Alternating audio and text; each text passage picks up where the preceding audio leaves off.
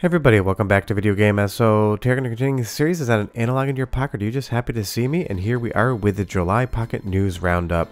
Because suddenly an entire month has gone by again. We've got a lot of updates on the analogue pocket side and we're almost into August, which is just wild. I feel like the summer is completely flying by.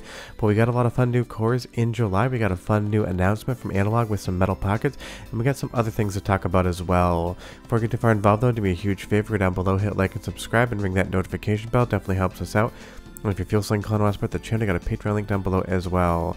Right off the top, Analogue introduced four new pockets, all made out of aluminum. These things are milled on a CNC machine out of a solid block, and it is not the plastic case that you remember from holding your pocket in your hand.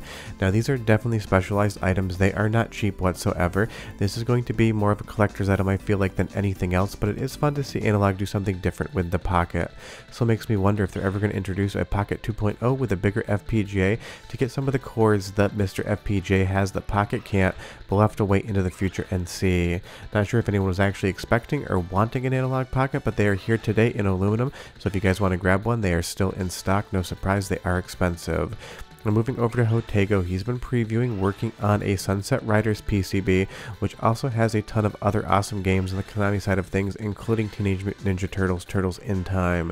And I just recently did a video on Sunset Riders comparing the arcade version to the Super Nintendo port as well as the Sega Genesis port, and trust me, the arcade version is 100% the way you want to play this game. And this is going to be another awesome Konami arcade board coming over to the Pocket side of things. No date as to when that's going to be done. Looks like reverse engineering engineering had just started, but obviously Jotego and his team have a lot of experience on Konami boards, so I'm sure some of the learnings they've derived from previous platforms are going to be relevant here as well. It's not going to already have that Proteus dock core as well, which is running on basically the same hardware. There can be some minor variants in Konami hardware depending on the game, but otherwise this is going to be something really to look forward to because it's just one of those quintessentially classic arcade games, and it's going to be coming to Analogue Pocket and of course MiSTer FPGA as well. And this is going to be exciting because there's so many other Konami arcade boards out there with so many incredible games, and I'm pretty sure everyone and their uncles are going to want Teenage Mutant Ninja Turtles, Turtles in Time, another spectacular Konami beat 'em up, because Konami was absolutely nailing it back in the day with beat 'em ups and running gun genre games, and Sunset Riders is just one of those titles that pretty much every single person who played games back in the 90s know, loves, and remembers. And this is the type of game that's going to be perfect on the go on pocket, or if you bring it home and throw it in the dock, it's going to be great as well because the arcade version version is the only one that supports four players as a native function versus the console versions are going to be two player exclusively. So this is definitely one to be excited for and look out for and definitely when there is a beta I will do a video on the whole thing because this is just classic Konami and it's going to lead to even more fun games on this board. And just so you know the board doesn't really have a name, it's just the TMNT2 board according to System 16 and they're usually the gospel on these things. And it's just fun to get a little peek into the background of somebody reverse engineering these and being surprised they only use like 10 watts of power. These boards are not power hungry at all. Now keeping with Jotego, the Namco System 1 core is also public as of the recording of this video. This was a beta for the longest time, but it has now gone public for absolutely everyone, so if you haven't updated your pocket in a while, grab your favorite updater, go ahead and update, and these cores will come down with all the associated files, and you will be ready to play. And it's always fun when the cores leave beta, that means they're basically done. They might get an update here or there, but the audience to be able to enjoy these is going to get a lot wider. And while I do think popping Jotego a few bucks a month for that beta status is a lot of fun, I know some of you just don't like playing cores until they're publicly released, so that day has definitely come. And if you're not familiar with too many of the games on the Namco System 1, I wouldn't be surprised. It's most famously known for being the Splatterhouse board, but there's a ton of other fun games on this board that you need to check out. A lot of action platformers a lot of shmups, even some tank games, kind of like Tank and Run, not Run and Gun. And you'll see here, there's pretty much a genre for everyone. This is basically giant kaiju battle shmup, but you also have space shooters as well. And it is great that it's all going to be here. And all of these games work so well on Pocket. Some of the Tate shmups can be a little bit small on the screen in my opinion, but that's just kind of how the form factor works. Leave me a comment down below and tell me, do you like Tate games on the small pocket screen? Or are you more like me and want to play them docked at home? Because there's just something about the lack of screen real estate when you have that Tate view that just kind of gets to me and I have a little bit of a problem following all the bullets. Maybe it's just me, you tell me down below. But again, it's another core that everyone can play today, and there are a lot of fun games on it. Some of them are very deep cuts, other ones like Splatterhouse are known to pretty much everyone, but it's great when another core goes public, and I'm sure some other Jotego cores will be going public in the next couple months as well, as he probably moves into that beta phase on stuff like Sunset Riders in the future. But definitely update your pocket, check out the System 1 today, ton of fun games, and no beta membership needed anymore. Now moving over to the analogizer side of things, obviously I've done videos on this that you can get RGB and other video signals out of your analogue pocket with a third-party adapter. They're basically doing what analogue seems to not be able to do by making their own DAC compatible with Pocket. So this is the only way today to actually get an analog signal out of your Pocket.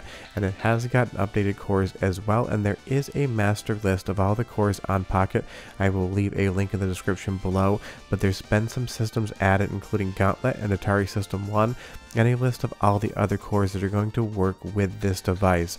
It's so much fun to be able to hook it up to a CRT, a PVM, or even a VGA monitor, so definitely check this out if you're interested in playing your Pocket on a CRT television. It's so easy on the MiSTer FPGA side of things. I'm really surprised that Analogue has not yet enabled DAC support for the Pocket. It seems like a big miss. They promised it basically in spring of 2023. Here we are late summer 2024. So hopefully one of these days you will see it soon. Now moving back over to the Sega System 18, Moonwalker is obviously available. I did an update on this last week, but if you didn't watch that, I figured I'd tell you one more time and kind of talk about the other games that are going to be coming soon. I think pretty much everyone was waiting for Moonwalker. It is the most famous game on the System 18, but for me personally, Laser Ghost is the one I really want to check out and play. But I am curious how that's going to function on the Analogue Pocket if you're not docked, because that game uses an XY coordinate control, basically analog, to be able to move your reticle and shoot enemies on the screen, and anytime that pivots over to a D-pad, it can feel a little bit clunky, which is not Jotego's problem whatsoever. He's working with the hardware he has, but I am kind of curious to see how that's going to function. But obviously Moonwalker is here today. If you're not a beta member or you don't have the beta key installed or updated, you're not going to be able to clean up the game. So if you're having issues with that, I do get a lot of comments about that, make sure that you put the beta key in the correct spot, or make sure you sign up for Jotego's Patreon. It's not going to clean up if you don't have that in there. But if you want to play Moonwalker today, it is ready, willing, and able to be played. Just make sure you update your pocket and grab the most current core. Now on the Konami side of things, again, there is a core now for Fastlane released in 1987. This is a very fun, if very small game, kind of feels like Pac-Man mixed with a vehicular combat game.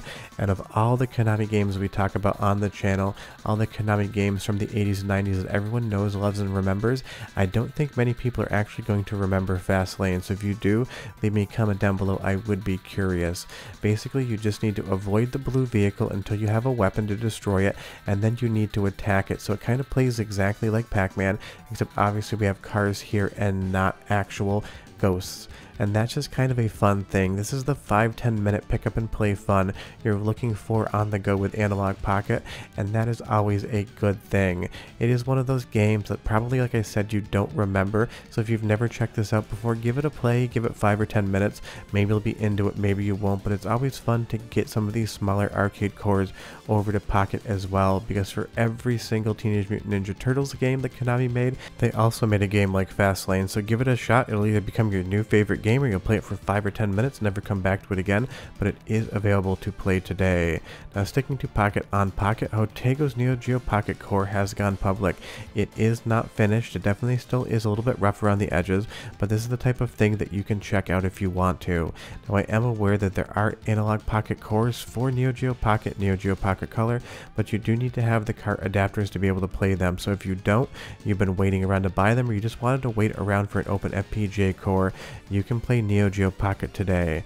Just be aware that this is only the black and white variant. Neo Geo Pocket Color has not yet been worked on or finished by Jotego, so there really isn't much of a release to talk about there. If you do love the Neo Geo Pocket in color and you want to play these games today, I definitely recommend picking up the adapters, but unfortunately they seem to be out of stock again. Analogue always seems to have stock issues on a lot of these things. And if you've never played the Neo Geo Pocket before, definitely check it out. This is a fun core, there's a lot of fun games to be had, and it is functioning for the most part that you can enjoy most of them. Hopefully by the end of the year, maybe this core will be buttoned up, or maybe we'll see Neo Geo Pocket Color from Jotego as well. But if you aren't a beta member again, or if you haven't checked this core out, it is public, and it has had a little bit of an update in the background, so you should be having a lot of fun. And that is the thing, for a two-button mobile fighter like this one right here, it is absolutely awesome. King of Fighters works way better than you would expect on the Neo Geo Pocket. Now remember one more time, if you want to play Neo Geo Pocket Color games, you need that cartridge adapter from Analogue, and hopefully at some point in the future, I'm not expecting this, I just hope it'll happen, Analogue will actually open up these cores to be able to run files and not just cartridges, or somebody in the background actually jailbreaks the firmware out to be able to do this, because these cores are available, they are awesome, to, to my knowledge, you cannot run games on them without that cartridge adapter, but at least on the OpenFPGA side of things today, you do have Neo Geo Pocket out of beta, it's like 80% done, you can have some fun with it, so definitely check it out. And one last game that's coming out of beta as well is going to be Bionic Commando. Ton of fun, absolutely challenging, fun Capcom game that was behind the Patreon wall for a while but is now available for everyone to check out. Really, July was basically the month of things from Jotego coming out of beta and going into the public repository for anyone to enjoy. And that's always awesome because like I said, I know some of you just wait for these cores to be publicly released before you actually play them. But tell me down below, are you a beta member or are you a public person? Short of that, that is the Analogue Pocket news for the month of July. Decent month, not the busiest, not the slowest. We'll have to wait and see what August brings. Hopefully in the next couple months we'll be able to talk about a Sunset Riders core as well. And obviously if you want to pick up a very expensive aluminum Analogue Pocket to go with your plastic model, you can do that today.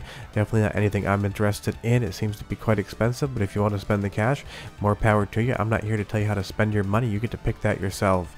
But short of that, that's the news, and we'll see you guys next time. 拜拜。